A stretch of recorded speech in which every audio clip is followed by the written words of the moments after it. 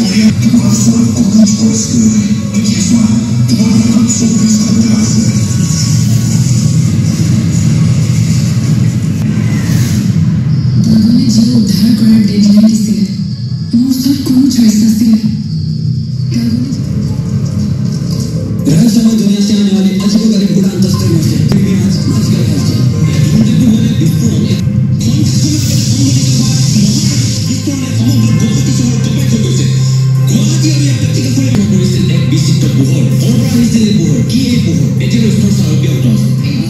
অৱতৰণ ইয়াৰ স্পেচ খুব স্পেচিয়েল হয়।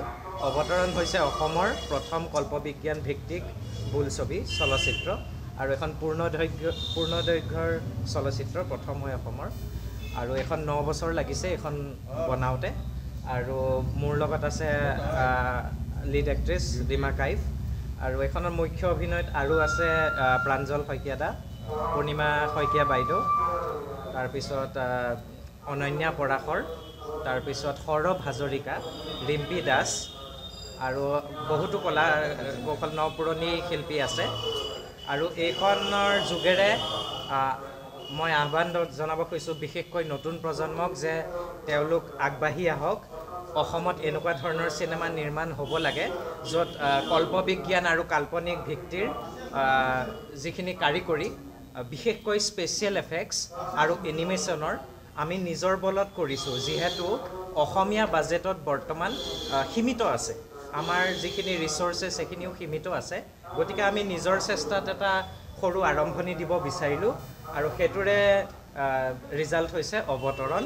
আৰু এই চিনেমাখনে ক'ব বিচাৰিছে যে স্বাধীন হৈ পেলাই আমি যিটো নিজৰ চেষ্টাত এটা সৃষ্টি কৰিছোঁ এখন নিৰ্মাণ কৰিব পাৰিছোঁ ঠিক তেনেধৰণে আৰু বহুতো ফিল্ম মেকাৰ আগবাঢ়ি আহক তেওঁলোকে নতুন যিবোৰ টেকন'লজি আহিছে কেমেৰাৰ ফালে হওক আৰু যিবোৰ কম্পিউটাৰৰ হওক সেইবোৰ ব্যৱহাৰ কৰি সেইবিলাকৰ এডভান্টেজ লৈ পেলাই বহুতো ভাল সৃষ্টি কৰিব পাৰে আৰু অসমীয়া চিনেমাত এইটোৰ প্ৰয়োজন হৈ আছে। চ' মই ক'ব বিচাৰোঁ যে অৱতৰণখন ইয়াৰ এটা আৰম্ভণি হয় কিন্তু এই যাত্ৰা বাকী আছে আৰু আমি আগলৈ যদি আৰু ছাপৰ্ট পাওঁ সঁহাৰি পাওঁ আৰু ৰাইজৰ যদি উৎসাহ উদ্দীপনা আৰু প্ৰেৰণা জগাব জগাই তেনেহ'লে আমি নিশ্চয় আৰু ভাল কাম কৰিম। তিনিটা যুগ দেখুওৱা হৈছে। প্ৰাচীন কাল যেতিয়া মানৱ জাতিয়ে প্ৰথম বুদ্ধি পাইছিলে আৰু কেইবাটা সভ্যতাৰ স্থাপন হৈছিলে আৰু তাৰপিছত বৰ্তমান কালত মেইন কাহিনীটো ঘটিছে য'ত তেওঁলোকৰ ঘৰত বিপদ আহে। যাৰ ফলত সৰু এজনী ছোৱালী পঞ্চী তাই যুঁজে। নিজৰ পৰিয়ালক বচাবলৈ নিজৰ ঘৰখন বচাবলৈ আৰু পৃথিৱীক বচাবলৈ।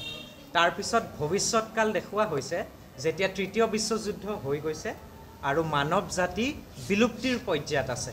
তো ইয়াত বহুত মেছেজ কয় যে আমি কি দিশত আগবাঢ়ি গৈ আছোঁ। বৈজ্ঞানিক প্ৰগতিৰ ফলত যিখিনি ক্ষতিগ্ৰস্ত হৈছে সেইখিনি আমি নকৰিব পাৰোঁ। আমি ৰেচপনচিবল দায়িত্বশীল যদি হওঁ আমাৰ ভৱিষ্যত বচাব পাৰোঁ আৰু প্ৰকৃতিৰ যদি সংৰক্ষণ কৰোঁ আমি যদি পৃথিৱী কোনো জাতি ভাষা ভেদভাৱ নকৰি আমি যদি আমাৰ জীৱনটো আগবঢ়াওঁ এইটো খুব ভাল হ'ব। এনেকুৱা সুন্দৰ মেছেজ আছে আৰু পৰিয়ালৰ যিটো সুখ দুখ হাঁহি কান্দোন সেইখিনিও আছে। গাঁৱৰ এটা অংশ আছে য'ত গাঁৱত আপোনাৰ অসমীয়া সংস্কৃতিৰ সেইখিনিও দেখুওৱা হৈছে। তো সকলো সোৱাদ পোৱা যাব। এটা নতুন সোৱাদ নতুন দৃষ্টিধাৰাৰে অৱতৰণখন নিৰ্মাণ কৰা হৈছে। নলবাৰীৰ নাট্য মন্দিৰ প্ৰেক্ষাগৃহত আমি আৰম্ভণি কৰিছোঁ। এইটো প্ৰথম পাব্লিক প্ৰদৰ্শন কৰা হৈছে আৰু ইয়াত তিনিদিন প্ৰতিদিন তিনিটাকৈ শ্ব' ৰখা হ'ব একৈছ বাইছ আৰু তেইছ নৱেম্বৰত। আৰু মই অনুৰোধ কৰিছোঁ যে ৰাইজে আগবাঢ়ি আহক। আপোনালোকে চিনেমাখন চাওক তাৰপিছত নিৰ্ণয় কৰক। আটলাণ্টিছৰ বাহিৰত মানুহতকৈ বহুত বেয়া অৱস্থাত আছিল